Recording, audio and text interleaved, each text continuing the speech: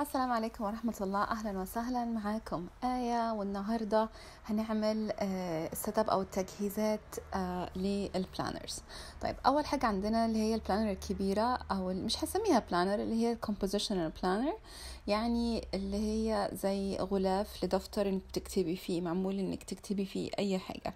composition يعني جاية من كلمة compose, يعني تعبر أو تكتب أو حاجة زي كده يعني. أول حاجة أنا قررت إن أنا أخليها للكتب. since إن أنا عندي قناة تانية عن الكتب صحيح إن أنا بقالي فترة طويلة ما سجلتش فيها بس قريبا يعني لا مش قريبا دلوقتي يعني السنة الجاية إن شاء الله. آه، هبدأ أرجع آه، ننزل فيديوهات. anyway فأنا قررت إني دايما يعني لو لو شفته في أول الفيديو كتاب فتحته طلعت منه ورقة.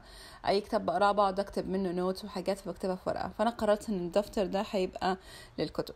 طيب ففي الورقة اللي أنا حطيتها في ال pocket دي كتبت اسم الكتاب أو أول كتاب هبدأ ألخصه هنا أو مش ألخصه إن أنا أكتب ال points المهمة آه عبارات عجبتني كده يعني. فأول حاجة هعملها اللي هي ال paper clips أو اللي هي المسكات بتاعت الورق.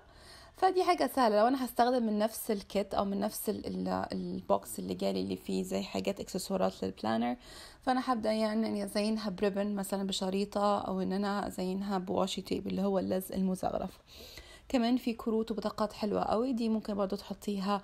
آه طبعا دي حرية شخصية خالص بس أنا يعني إيه بفكر بطرق مختلفة يعني.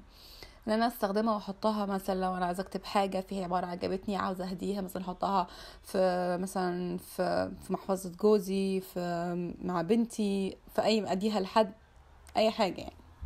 طيب عشان آخر حاجة بقى إن أنا عايزه أعمل tag أو اللي هو فاصل الكتاب أو هيبقى يعني في الوقت ده هيبقى فاصل الدفتر. طبعا لقيت نفس ال pattern نفس الزينة فأنا هاخد قطعه من عندي. القطعه دي من MFT آه اختار الشكل اللي أنا عاوزاه وهقصه آه وأخليها هي ال tag بتاعي. بس بعد ما قصتها طبعا مش لازم يكون نفس ال kit أنت تختاري أي صن أي ورقة. هختار خيط وإن الخيط هدخله وأقفله اعملها كانيلو بعمل فتحه وهخليها كده بس. وإن أنا عشان أزينها أو يبقى لها زي حاجة كده مثلا تمسكها أنا قررت إن أنا أحط وردة عشان الخيط ما يقعش مثلا أو التاج نفسه الفاصل الكتاب ده إن هو ما يقعش. فأنا قلت هاخد خلاص وردة. وردة خلته من القماش من مش من الورق عشان يعني إيه يعيش معايا شوية. وبس بصمغ المسدس هيبقى من ورا ومن قدام. طبعا زي ما أنتم شايفين. طبعا في النهاية هغير الألوان يعني بس آه كنت حبيت أجرب الفكرة لقيتها فكرة حلوة قوي وعشان التاج برضه ما يضيعش إن أنا ممكن أحطه في أحد مثلا في أي حاجة من البوكيت من الجيوب اللي جاية مع غلاف المنظمة. برضو جاي معاها آه زي البطاقات الصغيرة دي شفناها المرة اللي فاتت البطاقات دي من, من الكرتون. فلو أنا عاوزة أعمل فاصل لكتاب بس باستخدام المغناطيس. دي كنت بشوفها كتير في أي planner مثلا بشتريها وبيجي معاها إكسسوارات بتبقى فاصل للورق من المغناطيس. فقلت خلاص أنا أعملها بنفسي أنا عندي مغناطيس رفيع بس المغناطيس ده طلع يعني ال quality بتاعته مش قوي ف يعني ما مسكتش كويس فيفضل نجيب في يعني نوعية من المغناطيس تبقى رفيعة في نفس الوقت quality كويسة. إن هي تمسك في الورقة فهي هتمسك ورقة واحدة مش هتمسك أكتر من ورقة تانية. عادة هما ما بيمسكوش ورق كتير الفواصل المغناطيس دي بس يعني ممكن نعمل صفحة أو صفحتين. again ممكن تعملي أي شكل. هنا عملت الشكل المربع وهنا بعمل الشكل الدائري. برضو الأشكال دي جاية مع نفس ال kit أو مع نفس اكسسوارات آه ال planner هي أشكالها حلوة بصراحة في نفس الوقت فأنا آه قررت إن أنا أستخدمها. وكمان فيها عبارات حلوة نفس ال ال ال اللي هي القصاصات المربعة دي. قلت إن أنا هستخدمها يعني للصفحة لو في كيس مثلا لو عندي كذا صفحة بكتب فيها. طيب نيجي بقى عند ال mini planner دي اللي هي عاملة زي to do list فأنا قررت إن أنا أخليها لل crafting بتاعتي. يعني إيه؟ مثلا إن أنا هعمل فيديو مثلا ل brand معين لماركة معينة فأنا بتكتبها وهكتب مثلا في أول صفحة اللي فيها سطور مثلا إيه الحاجات اللي أنا عاوزة أجربها منهم؟ مثلا stamp طباعة أو قطاعة أو حبر أو إلى ما آخره. في الصفحة التانية أو عفوا في الدفتر التاني هتلاقوا إن هو زي السكتش مفهوش أي سطور معمول للرسم أو معمول لأي حاجة أنت عاوزاها أو bullet journal يعني. بس أنا قررت أخليها سكتش إن أنا هرسم فيه ال design بتاعي. عادة مش دايما في كل حاجة برسم ال design أنا أعمله أحيانا تطلع الحاجات كده تلقائية. بس أنا قررت إن أنا أكون شوية مرتبة يعني وأبدأ أرسم الحاجات اللي أنا عاوزاها ال designs اللي أنا عاوزاها. فدي هيبقى استخدامي آه لل mini planner دي.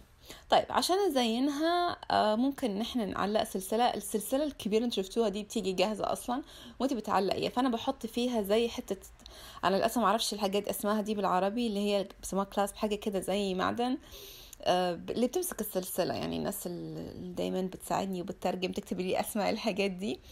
إنك تعلقيها يعني في البلان. طبعا هي مرة كبيرة بس على نفس حجم ال ال اللي هي الترافل اللي هي تيان يعني اللي هي بيسموها تيان ترافلر نوت بوك طيب عشان أعمل بقى زين الأستك ده نفسه. طبعا هي تختاري يا ده عشان دي مرة كبيرة والورد مرة برضو كبير. قصيت من من قماش الجوخ لون برتقالي تقريبا لون طبعا هي عشان إضاءة عالية فشوية الألوان مش باينة. بس هو زي لون برتقالي أو يعني ماشي مع لون الشموا بتاع البلانر وحطيت ورد والحاجات اجين كلها مصنوعة من قماش مش من ورق عشان آه يعني ما تقعش. فأنا هشيل دي لأنها مرة كبيرة. وهجيب زي شريطة صغيرة وهلزقها وبعدين هربطها في الأستك بتاعها. طبعا أنا تعمدت ليني أربطها؟ لأن مش عاوزة آه إن أنا ألزقها ولو أنا عاوزة أغيرها وأشيلها آه كده ممكن أخرب أصلا نفس قماش الشموع. بس فطبعا هنا عملتها بالعكس من جهة العربي. طبعا أنا عشان بكتب بالعربي بالإنجليزي فبالتالي مش فارقة معايا. بس لو أنت تكتبي كله بالانجلش فتخليها للجهة التانية يعني. بس. طب انت لو انت مش عاوزة أصلا تعملي الإكسسوار الكبيرة دي طبعا زي ما قلت لكم دي أنا شارياها جاهزة بتتباع جاهزة. في إنك تشتري عاد الخرز الصغير ده زي مش عارفة بيسموه إيه برضو حاجات بتاعت الإكسسوارات. أنا أو أي سلسلة قديمة عندك أصلا. بس بتقعدي تعملي تفتحي حلقات زي وريتكم علبة الإكسسوارات دي اللي هي عبارة عن حلقات ملونة اللي هي الذهبي والفضي بتفتحيها بالمفك. مفك معرفش برضو اسمه إيه. وبتعلقي في السلسلة بتاع عفوا السلسلة بتاعتك ممكن أو اللي هي الخرز آه أو حاجات اللي عندك سلسلة قديمة مثلا بتعلقي فيها وتخليها صغيرة. فأنا هنا خليتها صغيرة بحيث إيه؟ إن حجمها يناسب حجم التين. طبعا هتبقى أصغر بكتير وممكن أسيبها هي الاتنين آه يعني التعليقة مع الوردة. ف بس. طبعا أي حاجة أنت تزينيها فيها مش لازم نفس ما بعمل يعني أو ممكن ما تزينهاش براحتك يعني بس دي طريقة كده إيه آه يعني زي ما بيقولوا حاجة تفتح النفس يعني. بس فزي ما قلت إن أنا ممكن أكتب بالعربي أو أكتب بالإنجليزي طبعا براحتكم. ودي الحاجة الحلوة إن أنا ربطتها إن أنا أعرف أحركها يمين ويسار مش لازم إن أنا ألزقها. بس فهي دي كانت يعني زي mini setup كده تجهيز لل planners أو لل travel notebook عشان نبدأ نجهز. هنا زي ما قلت لكم هرجع أغير الألوان لأن حسيت اللون الوردي شوية مش مناسب ولا أي حاجة. فنفس الريبن آه نفس عفوا نفس التاج اللي هو الفاصل الكتاب. وجبت شريط ستان آه أبيض. حسيت إن هو شوية مناسب مع الغلاف. ونفس الشيء آه خليته يطلع كده. تحس إن حتى نفس الستان ده حلو قوي مكرمش مش يعني مدي مدي شكل حلو قوي وأختار البابيونة دي أو الفيونكة دي برضو اجين معمولة من ستان أتوقع دي من بريما بس اجين حلزقها من قدام وبعدين هاخد وردة صغيرة وأثبتها. بس وهي دي كانت التجهيزات للبلانرز أتمنى الفيديو يكون سهل وبسيط وعجبكم. آه، هشوفكم المرة الجاية. مع السلامة.